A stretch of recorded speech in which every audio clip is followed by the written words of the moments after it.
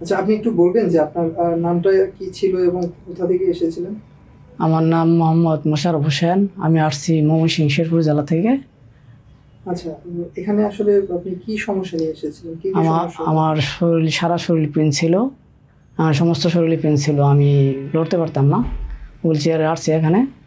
এখন মোটামুটি সুস্থ আমি। জয়েন্টে জয়েন্টে পেন ছিল এবং আপনার এ, মেরুদণ্ডে পেন ছিল গাড়ি পেন ছিল এগুলো আল্লাহর রহমতে ঠিক হয়েছে। আচ্ছা আপনার ডায়াগনোসিসে আমরা দেখতে পাচ্ছি যে আপনার আর এ মানে রিউমাটয়েড আর্থ্রাইটিস এবং পিএলআইডি ছিল হ্যাঁ? জি। তো এই যে আপনি যে সমস্যাগুলো নিয়ে এসেছিলেন এইগুলোর জন্য আপনার বাস্তবিক লাইফে যেমন হচ্ছে আপনি হয়তো কোথাও জব করতেন অথবা আপনার নিজের কাজ বাজ করতেন তো এই যে কাজ বাজ কর- মানে করার সময় অ্যাকচুয়ালি আপনি কি ধরনের সমস্যা ফেস করতেন? এগুলো কাজ করতে গেলে আমার সমস্যা হচ্ছে আপনার পা ব্লক হয়ে যেত কা হাঁটাচড়া করতে সমস্যা হতো হ্যাঁ কোমর কোমর নিয়ে উঠতে খুব সমস্যা হতো আপনার শুয়ে থাকতেও সমস্যা হতো আপনি আপনি তো এআই কর্মী আমার গাড়ি চালা লাগবে গাড়ি চালাতে সমস্যা হতো আচ্ছা আচ্ছা। সেই ক্ষেত্রে আপনার বাস্তবিক লাইফে অনেক ধরনের সমস্যায় পড়তে হতো এই সমস্যাটা নিয়ে। তো প্রথম যখন আপনি এরকম সমস্যা দেখলেন তখন আসলে আপনি কি মানে কি ব্যবস্থা গ্রহণ করলেন? মানে কোনো ডক্টর দেখালেন বা নিজেই কোনো ফার্মেসিতে গিয়ে ওষুধ খেলেন? কি ধরনের ব্যবস্থা গ্রহণ করেছেন? আমি অনেক ডাক্তার দেখাচ্ছি কিন্তু লাস্টে এই আসার আগে দেখাচ্ছিল মেডিসিন তো উনি বলছেন যে আমাদের আমার এই এই বাদ বিশেষজ্ঞ একজন ডাক্তার দেখানোর জন্য যারা রক্ত সমস্যা তো আমার রক্তে যে রোগগুলো ধরতে পারে ওই ধরনের ডাক্তার দেখাতে বলছিল। অন্য কোনো ডক্টর আর এই কথা বলেছিল কখনো? না অন্য কোনো ডাক্তার ধরতেই পারছে না। এর আগে অনেক ডাক্তার দেখেছি কেউ ধরতেই পারছে না এই রোগটা। আমার যে রোগটা, ধরতে পারছেন। পর ওনারা আসলে কোনো ডায়াগনোসিসই আপনার করতে পারেননি। না। লাস্ট আপনি যখন একটা মেডিসিন ডক্টর দেখান উনি আপনাকে সাজেস্ট করে একজন বাত ব্যথা বিশেষজ্ঞ ডক্টরের শরণাপন্ন হন হ্যাঁ হ্যাঁ। আচ্ছা এরপর আপনি খুঁজতে থাকেন যে আসলে ভালো বাত ব্য- ব্যথা বিশেষজ্ঞ ডক্টর কোথায় পান। তো ডক্টর মোহাম্মদ শফিউল্লাহ প্রধান বা ডিপিআরসি হসপিটালে যে এসেছেন এই হসপিটাল এবং ডক্টরের সম্পর্কে কীভাবে জানতে পারেন? আমি এটা আসলে আমার এক বড় আমার স্বাস্থ্য ভাই ছোট সে নেড়ে সার্চ দিয়ে এটা পাইছে। তারপরে সে এখানে আসছে ও ও এখানে আসছিল। তো এখন সেবা খুব ভালো তারপরে সে এখানে মানে নিয়ে ভর্তি করে দিয়ে দেওয়া গেছে। আহ, আমরা তো প্রতিনিয়ত ইন্টারনেটে আসলে অনেক রকমের ভুয়া জিনিস দেখতে পাই। তারপরে হচ্ছে অনেক রকমের ডক্টরও হয়তো আপনি পেয়েছেন। তো কেন ডক্টর মোহাম্মদ শফিল্লা প্রধান সবসময় ডক্টর মোহাম্মদ সবুল্লাহ প্রধান আসলে কাজও ভালো এই জন্য প্রধান। কারণ উনি যে কাজগুলো করতেছে সবগুলো সফলতায় আসতেছে সব রোগী ভালো সুস্থ হয়ে চলে যাচ্ছে। বিশ্বাস জন্ম আমি হয়তো সুস্থ যেহেতু আমি বলতেই পারি যে এখান থেকে সুস্থ হওয়া যায়। আচ্ছা এরপর হচ্ছে আপনি হসপিটালে আসলেন ডক্টর মোহাম্মদ শফিউল্লাহ প্রধান স্যারের সাথে দেখা করলেন। প্রথম যেদিন আপনাকে দেখলেন উনি কি বলেছিলেন দেখে?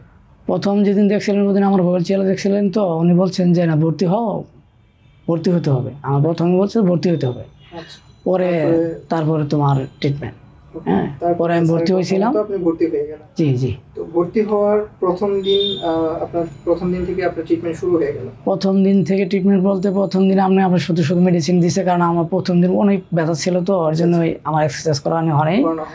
দ্বিতীয় দিন থেকে করানো হয়েছে আচ্ছা। তো কতদিন পর থেকে আসলে আপনি বুঝতে শুরু করলেন যে আমি একটু একটু করে ধীরে ধীরে সুস্থ হতে চলেছি? আমি প্রথম দিন যেদিন দুদিন তো একদিন সহজে সারা তুলতেই পারছি না হ্যাঁ? পরে মেডিসিনের পরে আমার ওদিনকে আমি সকালে ভোরে একলাই উঠতে পারছিলাম। এরপর আস্তে আস্তে ক্রমে ক্রমে কমতি আসছিল এমনি এখন বর্তমানে আমি সুস্থই। আচ্ছা আচ্ছা। কতদিন ভর্তি ছিলেন এখানে? আজকে নিয়ে তেরো দিন। তেরো দিন। প্রথম দিন ভর্তি হলেন এত ব্যথা নিয়ে এবং আজকে তেরো দিন পর আপনি হয়তো কালকে চলে যাবেন। তো এখন আপনার শারীরিক এবং সেই ব্যথা নিয়ে এসেছিলেন সেই ব্যথার কি অবস্থা? কেমন আছেন এখন? বর্তমানে আমি অনেক সুস্থ।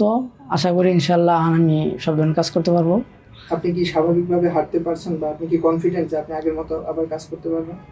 আমি স্বাভাবিক হাঁটতে পারব ইনশাল্লাহ আগের মতো ইনশাল্লাহ আশা করি কাজও করতে পারব।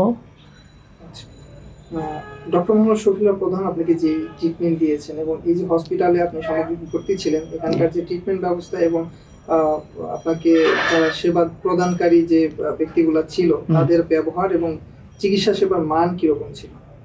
মান অবশ্যই ভালো অবশ্যই ভালো। আপনার মতো এরকম আপনি যেরকম ব্যথায় ভুগেছেন বিভিন্ন ধরনের জয়েন্ট পেইন এবং মেরুদণ্ড ঘাড় এবং কোমরে ব্যথা ছিল। এরকম অসংখ্য রোগী বাংলাদেশ এবং বাংলাদেশের বাইরে আছে। যারা আসলে জানেন না আপনার মতো অনেক ডক্টরের কাছে ঘুরেন এবং সঠিক ট্রিটমেন্ট যেখানে গেলে পাবেন সেটা তারা সন্ধান পান না। তো সেই সকল ভাই বোনদের উপকার করার জন্য বা সেই সকল ভাইদের উদ্দেশ্যে কোনো কিছু যদি আপনার মতামত থাকে।